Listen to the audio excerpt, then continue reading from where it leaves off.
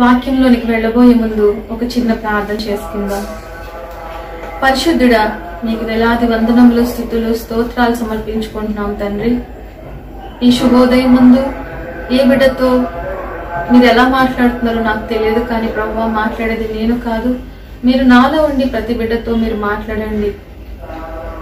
ప్రతి బిడ్డను మీ దగ్గరకు చేర్చాలన్న ఈ చిన్న ప్రయత్నంలో నా సాక్ష్యాలు నేను పంచుకుంటూ ఉన్నాను ప్రభా మాట్లాడేది నేను కాదు ప్రభా. మీరు నాలో ఉండి ప్రతి బిడ్డతో మాట్లాడండి.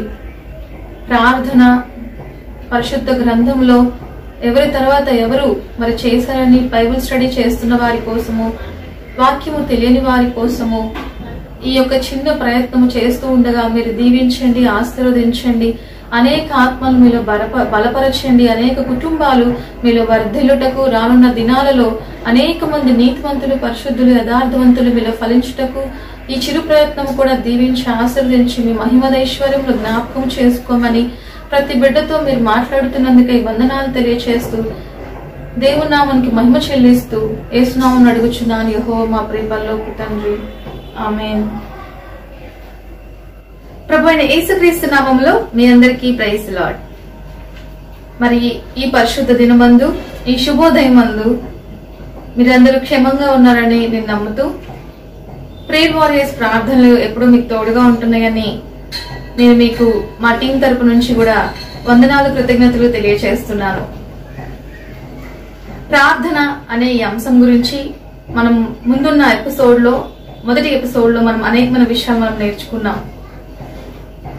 ఇంతవరకు మనం ప్రార్థనలో మనం ఆదికాండం నుంచి మొదలు పెడితే మూడు ప్రార్థనలు మనం ధ్యానం చేసుకుందాం. ఒకసారి వాటిని మళ్ళీ మనం గుర్తు చేసుకుందాం అండి. మొట్టమొదటిగా బైబిల్లో ప్రార్థన ఎవరు చేశారు? ఏనోషు అనే వ్యక్తి చేశాడు. ఈ ఏనోషు ఎవరు? షేతు యొక్క కుమారుడు. ఈ షేతు ఎవరు? ఆదాము అవ్వలకి పుట్టినటువంటి కయ్యూను హేబేలు యొక్క తమ్ముడు. మూడో వ్యక్తిగా ఆదాము అవ్వలకి పుట్టినటువంటి ఈ కుమారుడు మొట్టమొదటిగా బైబిల్లో ప్రార్థన చేయడం అనేది మనం గమనించవచ్చు. ఇది మొదటి ప్రార్థన. మరి రెండో ప్రార్థన ఎవరు చేశారు? అబ్రాము చేశాడు. ఇప్పుడు ఈ అబ్రాము దేవుని చేత పిలువబడిన తర్వాత తన సొంత ప్రజలను తన దేశాన్ని విడిచిపెట్టి వచ్చిన తర్వాత మొట్టమొదటిసారిగా నెగేబు అనే ప్రాంతంలో ఆయన మొట్టమొదటిగా బలిపీఠాన్ని ప్రారంభించి ఎక్కడైతే తను మొట్టమొదటిగా బలిపీఠాన్ని ప్రారంభించాడో అక్కడ మొదటిగా ఆయన ప్రార్థన చేయడం మొదలుపెట్టాడు. ఇది రెండో ప్రార్థనగా అబ్రహాము. అబ్రాము కాస్త అబ్రహాముగా మారిన తర్వాత మొట్టమొదటిగా కట్టినటువంటి బలిపీఠము. పరిశుద్ధ గ్రంథంలో ప్రార్థన చేయుటలో ఏనోషు తర్వాత రెండో వ్యక్తిగా అబ్రహాము దేవునికి ప్రార్థన చేయడం మనం గమనిస్తాం. మరి మూడవ ప్రార్థన ఎక్కడ చేశారు ఎవరు చేశారు అని మనం తెలుసుకోవాలని ఆశపడుతున్నట్లయితే మూడవ ప్రార్థన అబ్రహాము నెగేబు అనే పట్టణంలో లోతును శారాను అబ్రహామును ముగ్గురిని దేవుడు దీవించి వెండి బంగారం పశువులను అన్ని సమృద్ధిగా ఇచ్చి నెగుబు ప్రాంతంలో బహుగా దేవుడు దీవించినందుకు గాను మళ్ళా తను తిరిగి వచ్చి దేవుణ్ణి ఎంతగానో స్థుతించడానికి. అబ్రహాము మొట్టమొదటిగా కట్టినటువంటి బలిపీఠం ఎక్కడుందో మీరు తెలుసుకోవాలని ఆశపడుతున్నారా? ఓకే అయితే మీకు తెలియచేస్తున్నాను. పడమరికి తూర్పుకి మధ్యలో అనగా హాయి పట్టణానికి బేతేలు పట్టణానికి మధ్యలో.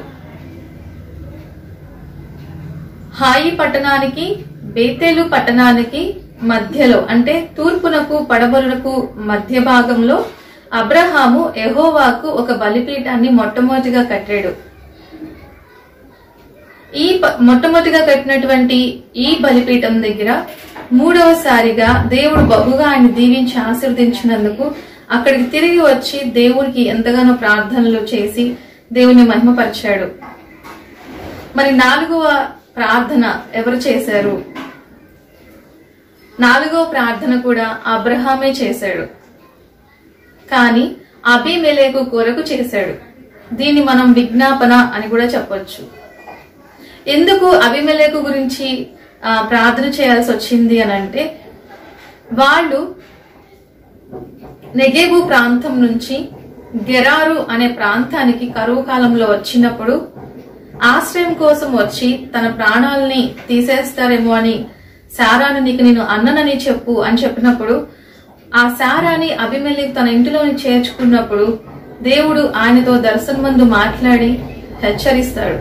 ఆమెతో పాపము చేయకుండా నేనే నిన్ను ఆపాను కనుక నువ్వే పాపము చేయలేదు అని చెప్పి అయినప్పటికీ కూడా రాజుగారి యొక్క అభిమెలేకు రాజుగారు గెరారు ప్రాంతానికి రాజుగా ఉన్నటువంటి అభిమెలేకు భార్య అతని దాసీలు తన రాజ్యంలో ఉన్న వాళ్ళందరి గర్భాలు దేవుడు మూసివేసినందుకు గాను దేవుడు ముందుగానే హెచ్చరిస్తారు. ఏమనంటే అబ్రహాం ఒక ప్రవక్త. ఆయన ప్రార్థన చేస్తే వాళ్ళందరి గర్భాలు తెరవబడతాయని చెప్పినప్పుడు మరి దేవుని మాటకు ఆయన ఎంతగానో భయపడి వెంటనే అబ్రహాము దగ్గరికి వెళ్ళి గొర్రెలను గొడ్లను దాసదాసీలను అన్ని ఇచ్చి నా ఈ గెరారు ప్రాంతంలో నువ్వు ఎక్కడైనా ఉండొచ్చు. దయచేసి నువ్వు నా కోసం ప్రార్థన చెయ్యి నేను నీ స- నీ యొక్క భార్యని మరి నువ్వు సహోదరిని చెప్పావు కాబట్టి నేను ఆ విధంగా చేర్చుకోవాల్సి వచ్చింది.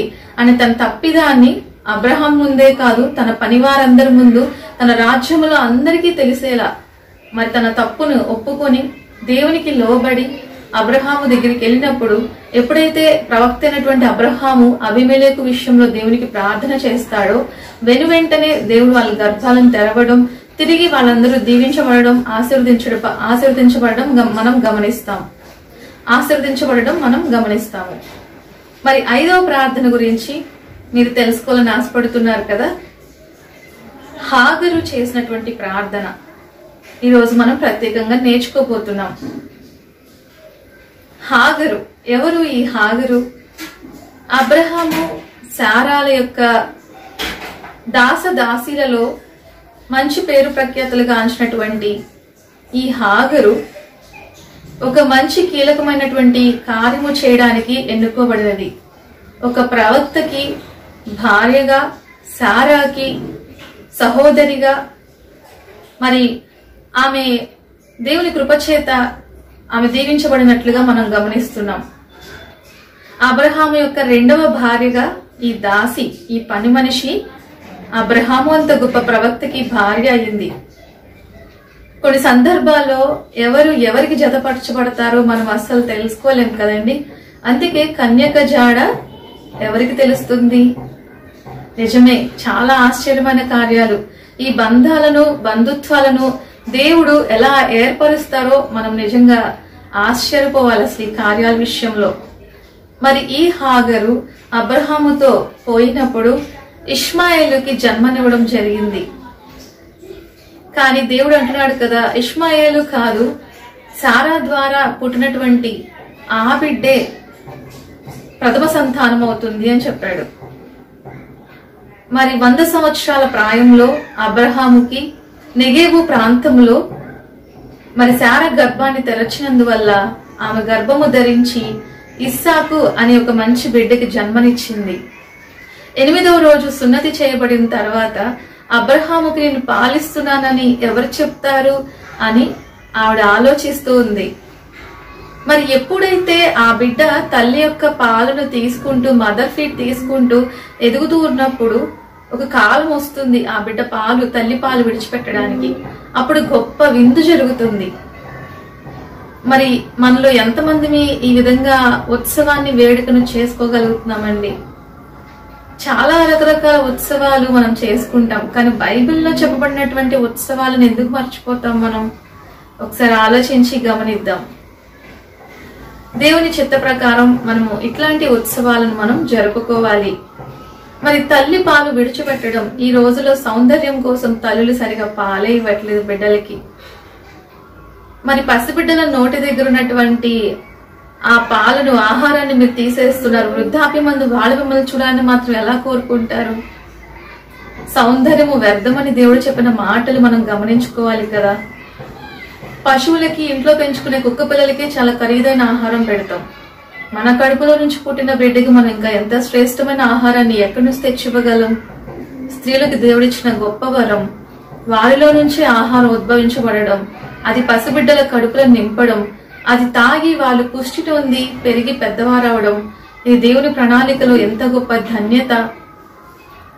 మనం అన్నం తినాలి అని అంటే ఎంతమంది కూలి వాళ్ళు పనులు చేస్తే ఆ బియ్యం ఈరోజు రైస్గా ఆహారంగా మన నోటి దగ్గరికి వస్తుంది.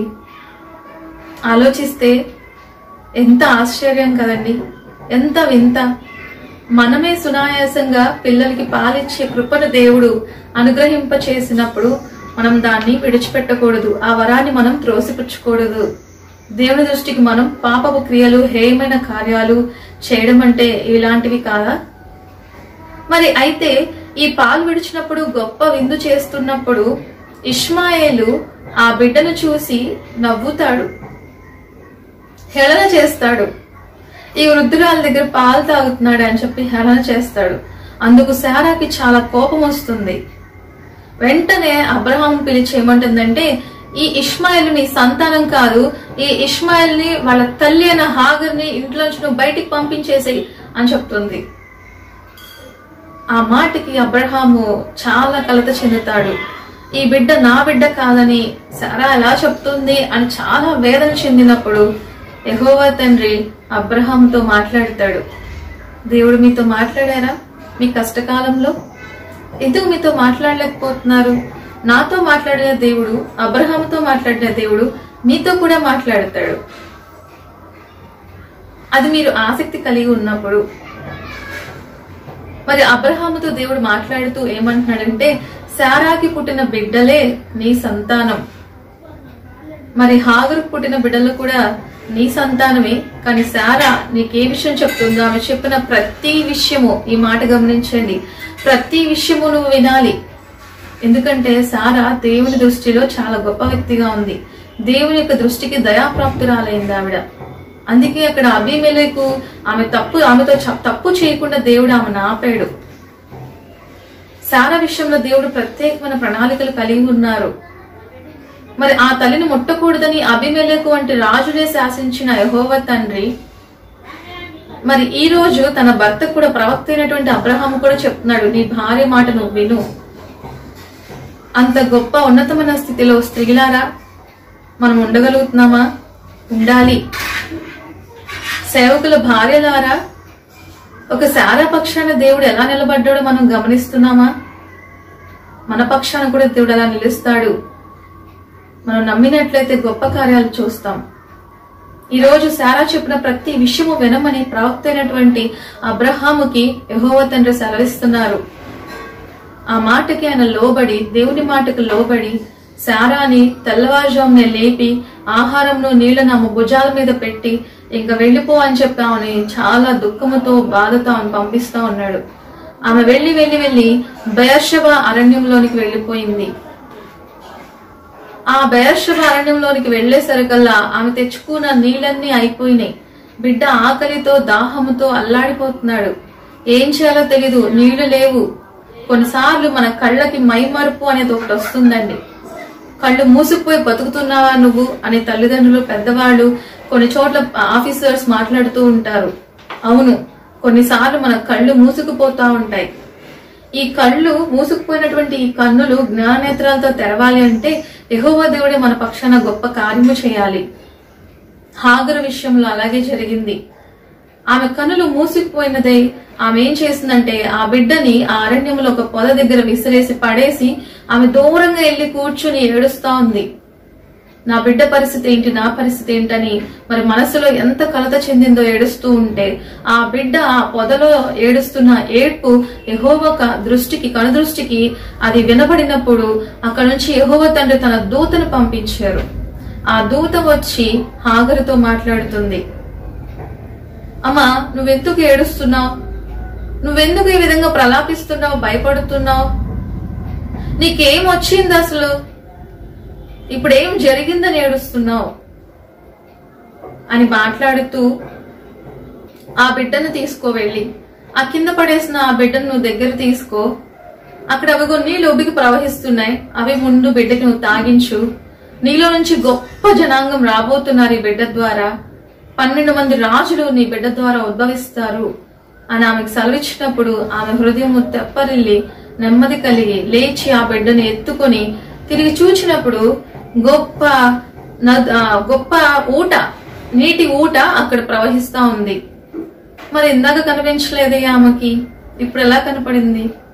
అవును ఎహోవా ఆమె కన్నులను తెరచెను అని ఉంది వాక్యంలో. ఆది కాండము ఇరవై ఒకటవ అధ్యాయము మనం ఈ ఒకటి నుంచి ముప్పై నాలుగు వచనాలు మనం చదువుకుంటూ వెళ్తున్నట్లయితే అక్కడ ఆమె వింటి మీద దూరంలో ఆమె వెళ్ళి ఏడ్చినప్పుడు ఎహోవా తండ్రి యొక్క దూతలు ఆమెను చేరుకున్నప్పుడు ఆమెను గొప్ప జనంగా దేవుడు దీవించి ఆశీర్వదిస్తున్నప్పుడు నీళ్ళ ఓటను ఆవిడ చూడగలిగింది. ఇప్పుడు ఆమె జ్ఞాన నేత్రాలు మనోనేత్రాలు తెరవబడి కదండి? కొన్ని సందర్భాల్లో మనం ఏం చేస్తామో అర్థం కాదు. ఎందుకంటే అటువంటి ఊహించలేని ఒక సమస్య ఒక ఉపద్రవం లాగా ఒక గొప్ప అలజడి మన జీవితంలో కలుగ చేసినప్పుడు మనకి పరిస్థితులు ఏం అర్థం కావు. మనకి కళ్ళు బయలు కమ్మేస్తా ఉంటాయి. కొంతమంది కళ్ళు తిరిగి పడిపోతా ఉంటారు. ఏం జరిగిందో వాళ్ళకి అర్థం కాదు. కొన్ని సెకండ్స్ పాటు కొన్ని నిమిషాల పాటు. కొంతమందికి ఇదే నిమిషాలు ఇదే నిర్లిప్తత జీవితంలో కొన్ని సంవత్సరాల పాటు గడుస్తున్న కొద్దీ వాళ్ళకి ఏమీ అర్థం కాదు. మరి హాగర్ యొక్క ఈ స్థితిని బట్టి దేవుడు ఆ పసిబిడ్డ పొదలో పడవేసినటువంటి ఆ బిడ్డ స్వరాన్ని దేవుడు విని దేవుడు హాగరుని దీవించాడు. మరి హాగరు యొక్క బిడ్డ ఆ బేర్షభ అరణ్యంలో ఉంటూ ఉండగా ఆ మైగుప్తీరాలు కనుక ఆ బిడ్డ పెరిగి పెద్దవాడవుతున్నప్పుడు తను విలుకాండ్రు ఆ ఆ విద్యను నేర్చుకున్నాడు. ఖాళీగా ఆ బిడ్డ కూర్చోలేదండి. ఆ పండ్లు కాయలు తిని కూర్చోలా. తల్లిదండ్రుల సంపాదన మీద మనం ఊరికే కూర్చొని తినకూడదు. వాళ్ళు కూడా కష్టపడితేనే ఈ రోజు మనకి పోషించగలుగుతున్నారు చదివించగలుగుతున్నారు ఉన్నత మనస్సులో చేర్చగలుగుతున్నారు. మరి ఈ ఇష్మాయిలు కూడా తన శరీర అవయవ భాగాలు సరిగా ఉండవు కదా? నేర్పించే మాస్టర్స్ ఎవరు లేరు కదా? చాలా మంది పిల్లలు చెప్తారు నాకు సరైన టీచర్ లేరు లెక్చరర్ లేరు నాకు సరైన మ్యూజిక్ టీచర్ లేరు నాకు స్పోర్ట్స్లో నాకు సరైన కోచ్ లేరు ఇట్లా బాధపడుతూ ఉంటారు కదా? దేవుడు ఈ రోజు మీతో మాట్లాడుతున్నారు. ఏమీ లేని చోట ఒంటరిగా ఉన్నప్పుడు దేవుడు నిన్ను దర్శిస్తారు. నీతో మాట్లాడతారు. నీకు జ్ఞానమునిస్తారు. ఇస్మాయిల్కి ఎవరు నేర్పారండి? విల్లుకాండ్రిగా తన మారడానికి తన ఆకలి తన తల్లి యొక్క ఆకలి తీర్చడానికి తను బాధ్యత వహించాడు. తను బాధ్యత తీసుకొని తల్లిని పోషిస్తూ పెరిగి పెద్దవాడయ్యాడు. మరి పెద్దవాడైన బిడ్డని ఆ తల్లి విడిచిపెట్టలేదు చూసారా? అవయవ భాగాలు చక్కగా లేవని ఆ తల్లి విడిచిపెట్టిందా అండి?